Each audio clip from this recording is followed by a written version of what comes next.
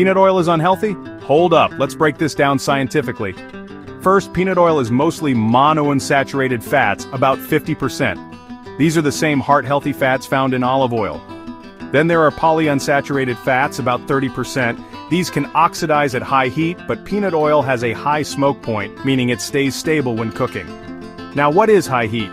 Generally, cooking above 375 degrees Fahrenheit or 190 degrees Celsius is considered high heat, like deep frying and stir frying. Peanut oil has a smoke point of around 450 degrees Fahrenheit or 232 degrees Celsius, meaning it can handle these temperatures without breaking down or producing harmful compounds. But what about stainless steel pans? To make them non-stick, they need to be heated properly, often around 400 degrees Fahrenheit or 204 degrees Celsius, before adding oil. That's still below peanut oil's smoke point, so you're safe.